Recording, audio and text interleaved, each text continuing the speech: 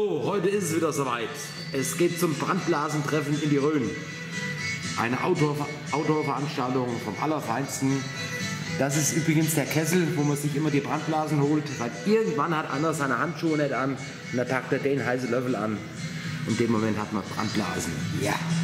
Und heute ist es soweit, am 5.1. Poppenhausen-Stroth. Hier ist nochmal die Wegbeschreibung.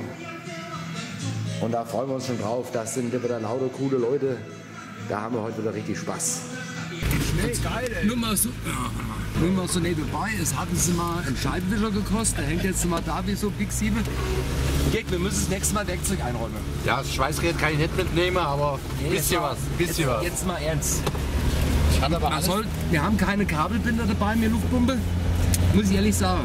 Rödeldraht hatte ich drin. Hier. Rödel, ja, alles Ich find's nicht. ja, beim Auto aufgeräumt, alles weg. Scheiße. Jetzt hätte man schön helfen können, aber na gut. Wir kämpfen uns auch so durch. Das ist ganz schön vereist hier draußen. Du. Vorsichtig sein. Ja, und ein Nebel hier, Nebellandschaft. Oh, hier ist ein Bauernhof, große. Na gut. Machen wir aus. Und äh, Werkzeug nehmen wir mit.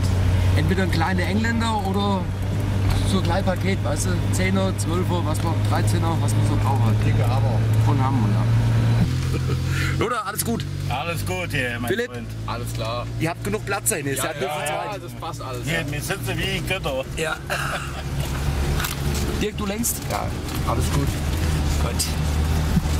Ich den Filme, da war ich total im Stress. Die Wies, das ist ein Glatteis. Ich bin richtig am Zittern. Da sind wir von da oben hier runtergeschossen. Zweimal an den Baum entlang. Philipp, du hast nicht gefilmt, oder? Ich habe alles gefilmt. Du hast ich gefilmt? habe alles Alles drauf. gefilmt. Ich habe alles drauf. Okay. Lothar, du hast die Boiler im Kopf. Ich hatte Beule am Kopf und leichte Blutungen. Ach, stell dich nicht so an. Nicht so an. Aber ich bin hart im Leben. Gut. Ich fall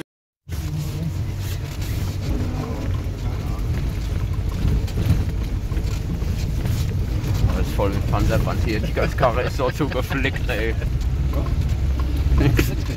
Ja? Ja, ich kann gar nicht. Oh, oh, oh, oh. Oh,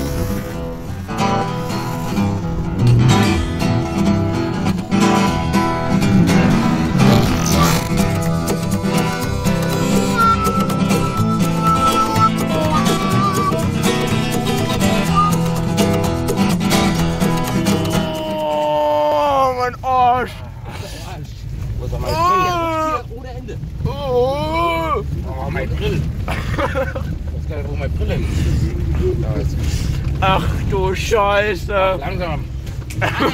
Ah, der kommt im Baumschraubler. Well, my cowboy boots have never walked in Texas. And my Stetson hat's never been to Tennessee. I don't know anything about the Alamo or about the Georgia line, but I can still go honky tonkin' if I want. Don't ask me how many Ich hab alles aufgenommen. Au. Hier, mein Kopf. Das war jetzt echt scheiße hier. Und ich hab alles auf Video. Ich konnte nicht machen. Hatten zweimal mit dem Baum ganz schön Glück. Boah. Zweimal. Yes. Kostet mir mal Geschenk Alter. hier. Leck mich an die Ferse. Kleinen Zwischenbericht, in der Rhön haben wir wirklich Schnee, ne? Ja. Hier ist Schnee. Das ist Pillepalle. Kommt ihr alle raus da? Wo ist denn Lothar? Lothar sitzt noch. Wir sind jetzt hier in der Fischerhütte, das ist er. Da ohne. Und dann machen wir erstmal einen Stopp. Gerade das Dach aus. Ja. Lothar, kommst du? Ja. Okay. Ich muss erst die Füße rauskriegen. Erst die Füße raus, ja. Ach ja. Ist alles nicht so einfach. Ja. Lothar hat abgenommen, das geht alles ganz gut. Das war alles schon viel schlechter. Wir sind jetzt hier in der Fischerhütte und jetzt trinken wir hier ein kleines ja. So, der Lothar hat jedenfalls den Müll am Kopf. Mach, mach's nicht doch. Machen wir, die, machen wir das Kopf seitlich, damit ich es nochmal von der Seite habe. Nee, anders stellen, wegen Licht. Röntgenblick. Ja, ja, hier, oh. Lothar, das wächst, das wächst doch. Das ist mal ein Bienenstich. Ich werde sofort die Krankenkasse geschickt. Unsere Fahrt geht weiter. Wir haben uns jetzt erstmal gestärkt. Die Scheibenwischer Wischer wurde repariert vom Philipp. Philipp, Dankeschön. Bitteschön. Das läuft richtig geil. Und jetzt hier sind wir wieder. Oh, Edel rutscht schon wieder. Wir haben hier halt Winter in der Rhön. Bei uns da unten in den Kalbach im Rhön gibt es noch keinen Winter. Aber hier haben wir Winter. Gut. Hier stehen richtige Wintermotorräder. Hier ist doch mal alles Pico Paco. Dirk, machen wir auf die andere Seite. Ja, hier stehen die Bikers aus der Rhön. Toll. Sogar mit Chopper sind sie angereist. Dick, machen wir da hoch. Ah, ich sehe jetzt, gut, wir haben jetzt wenig Licht. Hier oben si- sieht man noch die Nummerschilder. Und hier die Hütte. Dick, die Hütte. Ja. Und hier sind die Röner Bikers. Da gehen wir jetzt hin. Und jetzt läuft's? Jetzt läuft's, ja. Guten Abend. Ich grüße euch. Hi. Du auch. Und, geht es gut? Ja, bis jetzt noch. Wird aber bestimmt anders noch werden. heute Letztes. Jahr hast du ganz schön dumm Zeug gebabbelt. Ja, ne? das stimmt allerdings. Okay. Ah, Aber so ist, so ist das im Leben. ja. Stefan, Stefan, das ist bei dir auch so. Ja, wir sind ja auch nicht davon verschont. Wurst! So, hi Stefan. Hi! Leuchten wir mal hier rein. Ja, machen wir runter. Hessen da hinten, ja. Klar. Sind alle da wieder? Wie üblich. Ja, aber ich glaube, ihr habt doch wieder einen Chip rausgeholt, ne? Ja, logisch. Ja, ja, ja, ja. Ich muss da immer fünfmal mitnehmen. Röhn-typische Anreise, ja, ja. Ja, Entschuldigung. Kamerateam Kalbach ist Ja, da ist es ja, mein Freund, ja. Mensch, kannst du knutschen. Klappt das da, was du da hier so alles so treibst? Ich denke nicht. Das riecht ja echt gut hier. Toll. Hier ist mal hier, mal gucken hier. Das Kümmerling-Kästchen ist ja leer. Hier, Monsieur. Scheiße. Ja, wo Ich hab's es ja an eine hin? Praktikantin gegeben. Dann mach du mal Prost. Hau weg die Hau Scheiße. weg die Scheiße. Okay, Hau dann weg den ich... Stuhl. Hau weg den Stuhl. Wird denn hier so gegrillt, Stefan? Das habe ich schon gefilmt hier, das läuft ja alles. Das ist alles gut. Lagerfeuer mal auch. Mopeds, alles klar. Haben wir auch schon alles drauf, alles gut. Ganz viele Gespanne. Hier ist auch zum Beispiel wieder eine. Das ist eine Kawasaki. Ein hammergeiles Gerät hier. Guck mal, da oben steht noch ein BMW, ein neue.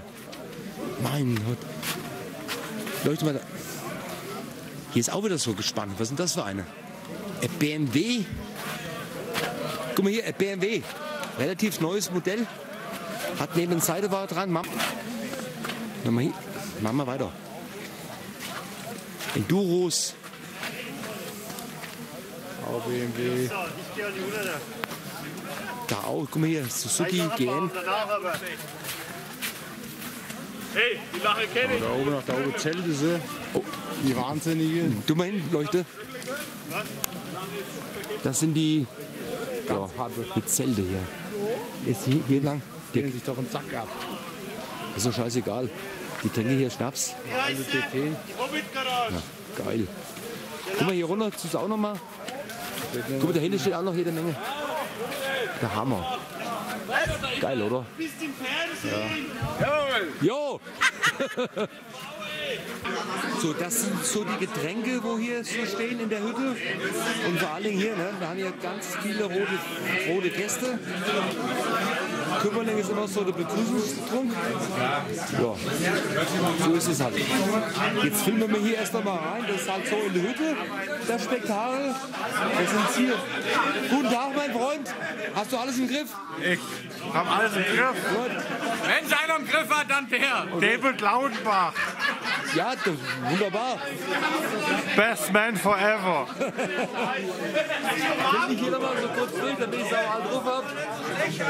Alles, alles super. So, so ist es. Leute. Ich kann erinnern, der Luther hat sich ja gestoßen. Ich filmt gerade mal seinen Kopf.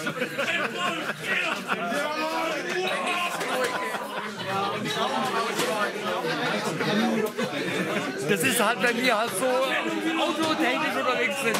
Die, Von vorkommen. die können sich nicht richtig bücken. Ja, das geht halt nicht. Nein, war alles gut.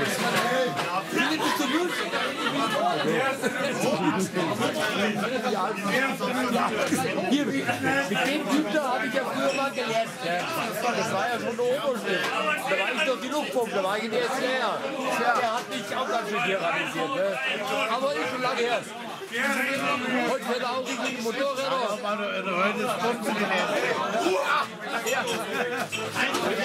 So, hier ist wieder schöne Romantik. Da stehen sie alle drumherum um das große Feuer. Die Fahrensmänner aus der Rhön und wo sie überall herkommen. Ja, so ist das halt jedes Jahr. Das Brandblasetreffen. Einwandfrei. Und hier kommen immer so die Herzen. Das sind noch richtig echte Typen. Die schlafen mal nicht. Hier, sag mal, wie heißt du überhaupt? Wie heißt du? Mein Name ist Richie, ich komme aus Heustreu bei Bad Neustadt-Saale und ich habe 2018 die 100er GS durch Zufall eigentlich übers Internet gefunden. Die stand lange im Internet, ist nicht verkauft worden. Kommst du oben auf den Dacho? Die hat jetzt offiziell auf dem Dacho 59.125. Der, der, hört ja bei, der hört ja immer bei 100.000 wieder, fängt der von vorne an. Ja? Richtig. Und der Tacho ist schon zweimal übersprungen. Ehrlich? Das heißt, das Motorrad hat fast 260.000 Kilometer gelaufen. Das sind schon ein paar Kilometer. Ich bin Drittbesitzer von der Maschine. Die Maschine ist nur in Franken gelaufen. Das ist auch was Geiles irgendwie. Ja. Ist nur original, mehr oder weniger 100er GS. Bis auf das Heck halt hinten. Wo praktisch die Zweisitzer äh, Ja, umgebaut wurde ja. auf eine Einsitzer-Bank. Ja. Was auch interessant ist, die Sitzbank, siehst du das? Das ist original aus Paraguay. Der Vorbesitzer ist viel in, äh, ja, eigentlich auf der ganzen Welt rumgefahren und hat sich praktisch in Südamerika eine 100er gekauft. Ja.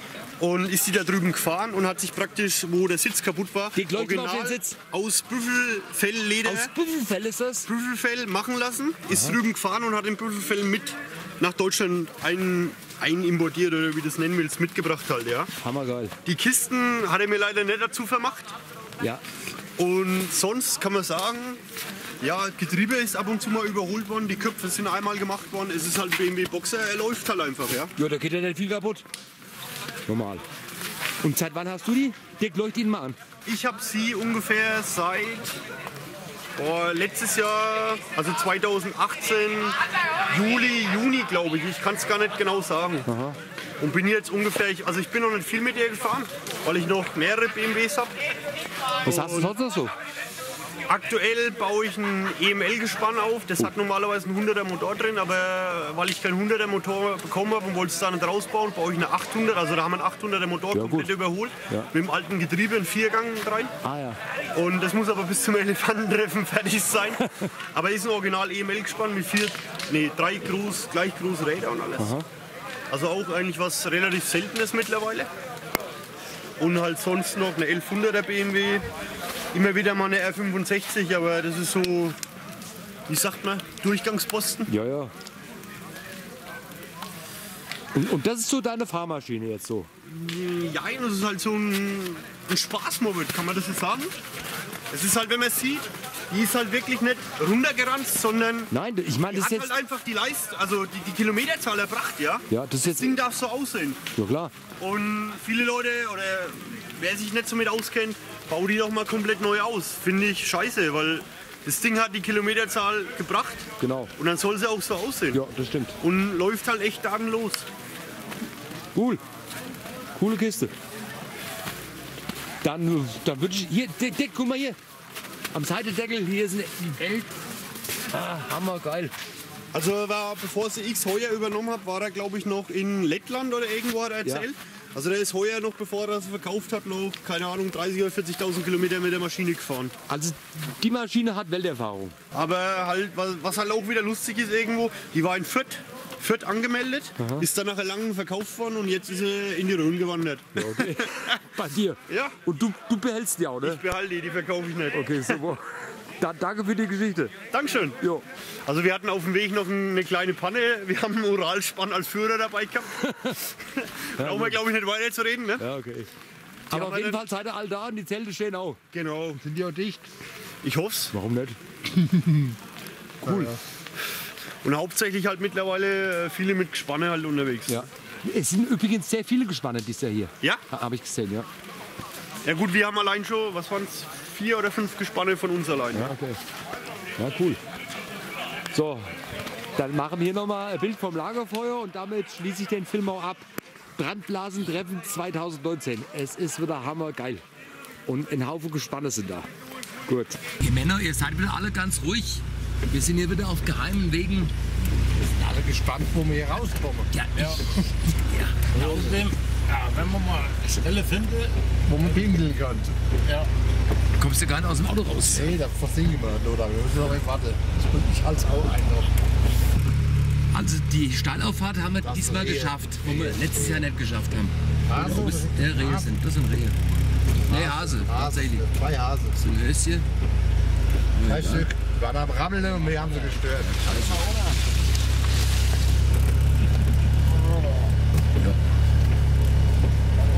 Was hast du denn da hinten? Hier ist doch schön, oder? Schön Schnuck. Ja. Ach, geil.